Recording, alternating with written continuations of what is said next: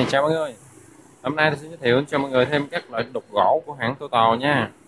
Thì các à, loại đục gỗ của hãng Total này ờ, hiện tại trên bàn tôi nó có các size là 6 mm nè 9 mm nè 12 mm 14 19 à, 14 là 16 nè.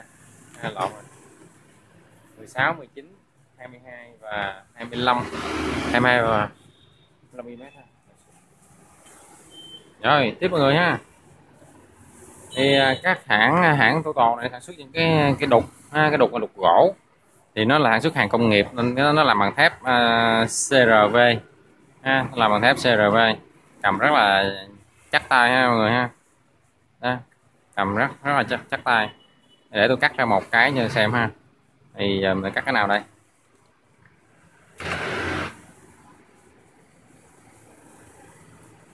Rồi, cắt cái này đi ha sao mình cắt mình test luôn kiểm tra luôn.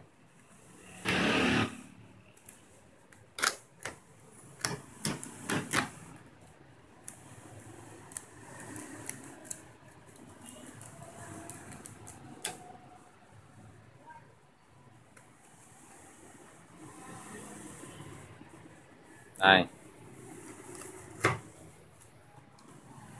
À.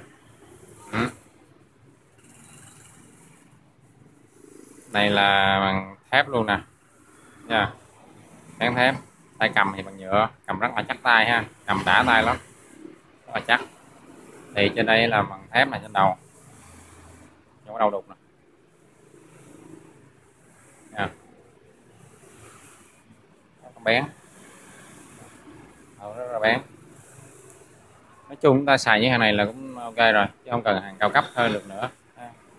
Cao cấp thì nó mắc tiền thôi hàng này chung giá tiền cũng vừa phải hàng tụ tàu thì nói chung những hàng này sản xuất hàng công nghiệp nhưng mà giá nó không có mắc.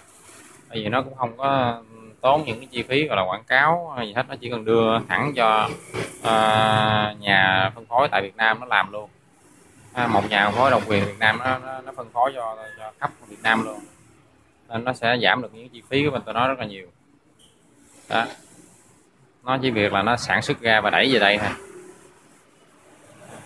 Hàng rất là đẹp mọi người rất là bén. Cảm nó tay rất là bén.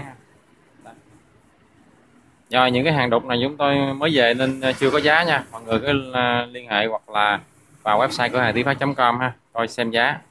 Cái này chúng tôi chúng để cập nhật lên website ha. Đó. Rồi cảm ơn mọi người. À, xin chào.